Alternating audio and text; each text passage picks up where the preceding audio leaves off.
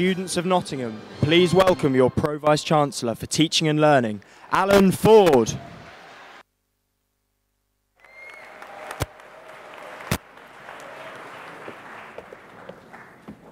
Thank you very much indeed. I, I, I, tend not to get a welcome like that on my 9 o'clock Monday morning lecture, so I really appreciate that. Thank you.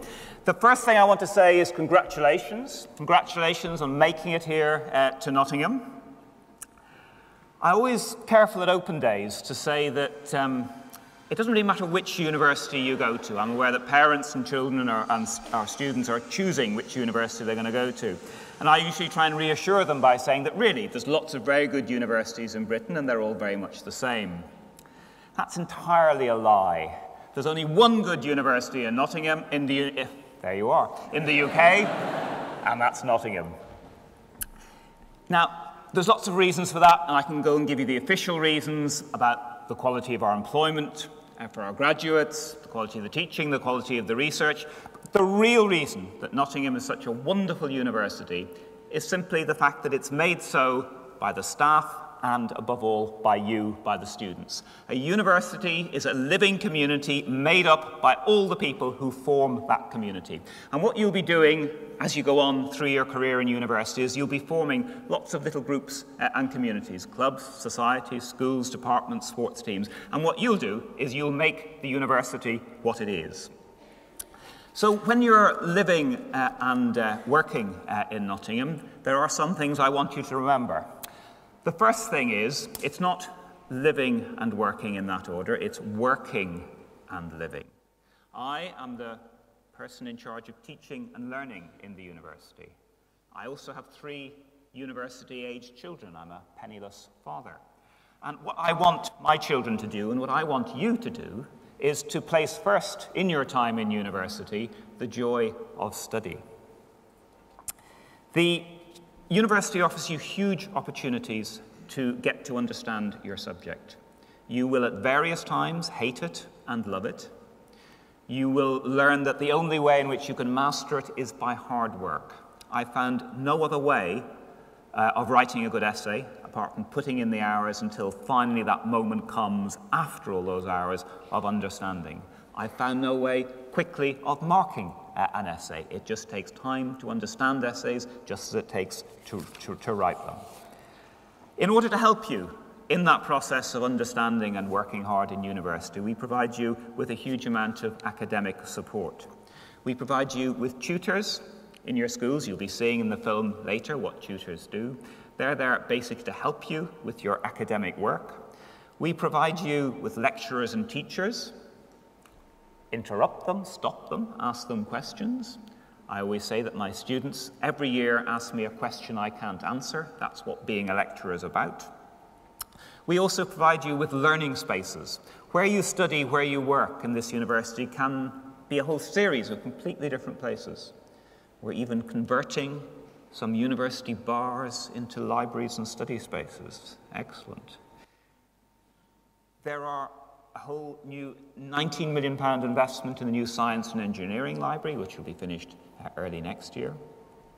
And there's places there for silent study, group work, even eating uh, and drinking.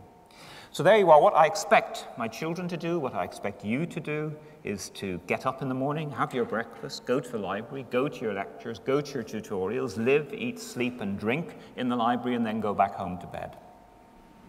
Except, of course, that there is that other half of your life, no more than half, of your life in Nottingham, which is about enjoying the social life of the university and of the city.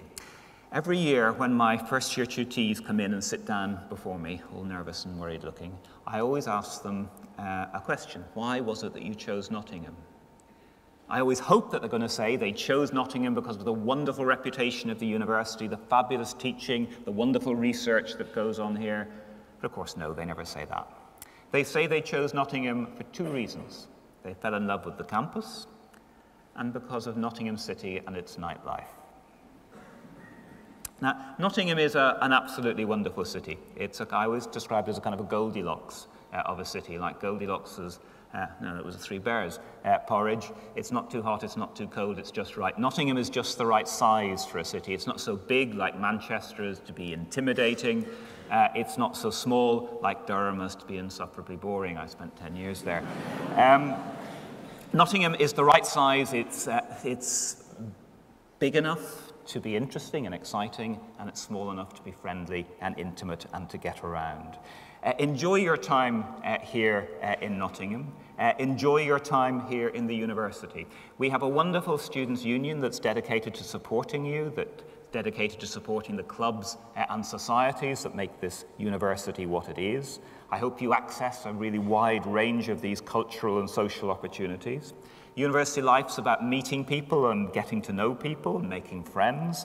Most of the friends you make in your first few weeks, of course, will never be the friends the rest of your time in the university. But anyway, um, some of you have travelled uh, today from across the UK, others uh, from uh, abroad. Uh, a warm uh, welcome uh, to you in Nottingham.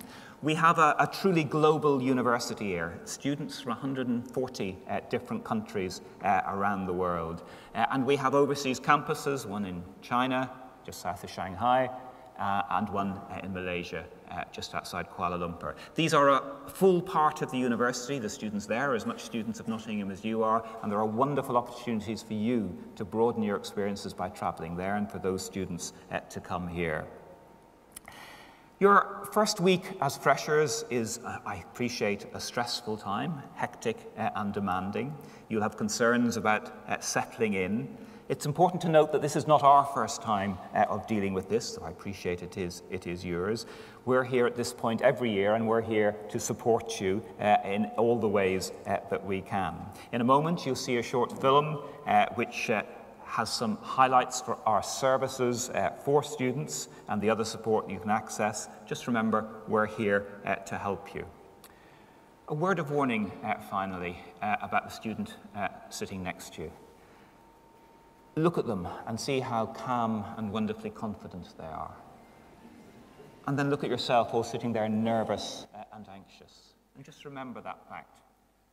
You look incredibly calm and confident, however nervous you are, and they look incredibly calm and confident, however nervous they are. Remember that fact through Freshers Week, uh, and you won't feel, I hope, uh, so bad.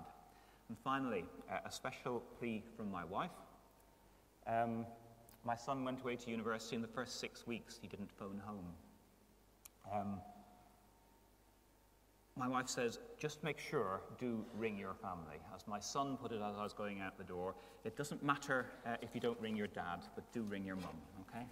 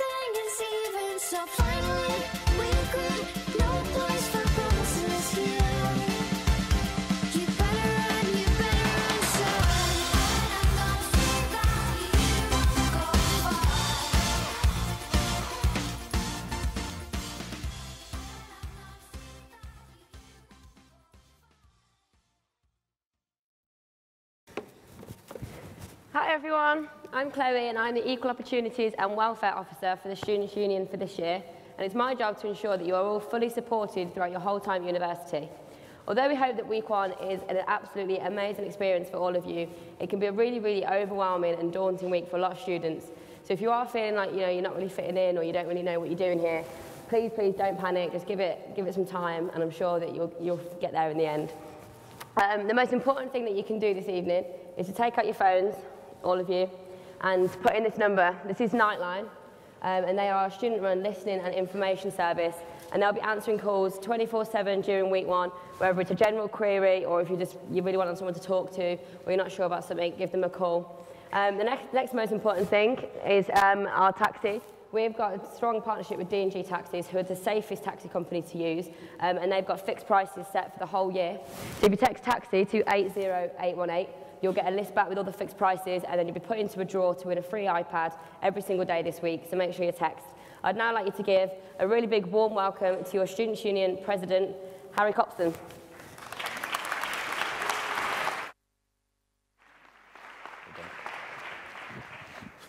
Hello, hello, hello. Welcome to Nottingham, everybody. My name's Harry and I'm president of the Students' Union. But before I talk to you about that, I know Chloe's just asked you to do it, but if you've got a mobile phone in your pocket, can you take it out for me? Hold it above your head. Take out your pocket, take out your bag, hold your phone up. Cracking, because this is now the official launch of our Welcome Week app. We have an app in the App Store. If you type in UONSU, you will find it. It's got all the information that you need throughout this week. So everything you might need to know regarding all the events that are going on, how to get there, timings, and everything that you need to find out, you can get it on the app. We are also really proud this year to be launching our very first SU Snapchat account. So if you, if you type UONSU into Snapchat on your phone, we, we have an account. We will be sending you pictures throughout the week. We'd also love it for you guys to send all your snaps throughout the week to us. And at the end of the week, we are going to make sure that we screenshot them, make a nice compilation so we know exactly what everyone's been getting up to and seeing all the great things that you guys have been get, um, doing throughout the week. So, as I said, I'm Harry and I'm president of the Students' Union here. Now, you've seen the video, you've seen a bit about what the Students' Union does. So I'm going to try and tell you guys a bit more about what the union really is. So you've all come from schools and colleges, places where teachers and tutors were ultimately in charge. They will have told you exactly when your work was due in, exactly what work to do, and they run all your activities and trips. They are, or were, in charge.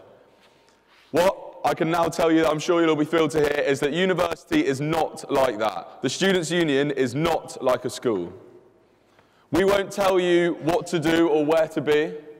But what we will do is provide you with a hell of a lot of this opportunity. So, if you remember one thing from this talk, the buzzword for tonight is this word behind me here opportunity. And you know what the best thing is? It's not run by lecturers, teachers, or staff, it's run by students. The Students' Union is all of us in this room here today, and everyone across the university. All the activities that you will come across over the next week, over the next year, over your entire time here are run entirely by students, for students. Which means that no matter where you want to focus your energy, whether it's to continue an interest you have, develop a new one, meet new people, or just come here and get a good degree, I can guarantee you that the Students' Union is there for you in whatever it is that you want to do. So, my message to you is this I was sat exactly where you guys are just two years ago now. Time here can go incredibly quickly. So remember, you are the masters of your own experience. It is you guys who will decide what you get out of this university. The power really is in your hands.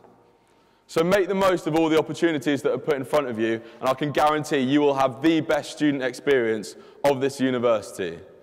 Thank you very much for listening. Have a fantastic week. And again, as Chloe said, if you've got any issues, don't hesitate to get in touch. We hope you have a really, really good week. Thank you again for listening. Cheers, guys.